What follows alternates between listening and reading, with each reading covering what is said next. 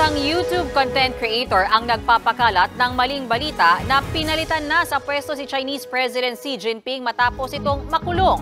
I-fact check natin yan mga kapatid.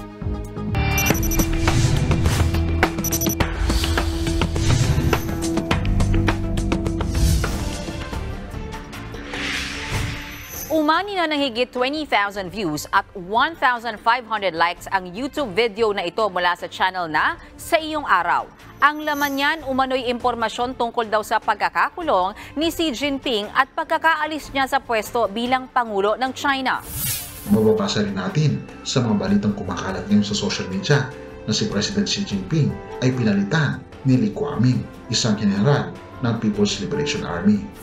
Simplehan na lang natin mga kapatid, mali po ang impormasyon na inilatag ng video na yan.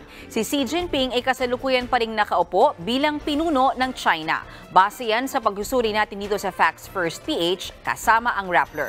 Katunayan, present pa nga ang Chinese leader sa Group of 20 ang G20 ay international forum na binubuo ng ilang mga bansa, kabilang ang China, Amerika, European Union at iba pa. Dati na ring na-fact-check ng iba't ibang organisasyon ang chismis na ito. Lahat sila napatunayang fake news ang pagkakatanggal sa pwesto ni Xi.